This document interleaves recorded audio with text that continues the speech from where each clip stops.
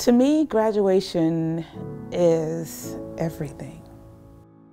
It it allows me to know that I'm not that person that people said I was. I am I'm good enough and I can do anything that I put my mind to. It's definitely like a, uh, the first step in my journey to become a pharmacist.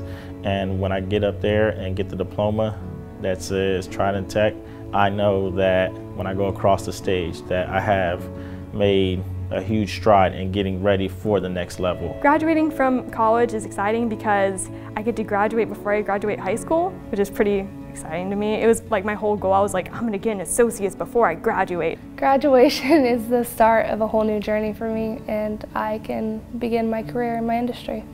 It's a feeling, a self-worth feeling of I've finally finished something I started a long time ago. It means a better future for my children. Walking across the stage means a better life overall, a better quality of life for my family. Not only is it an end to the journey of earning my education, finally, it's also my reward for finally completing something. It is the final feat of climbing that mountain.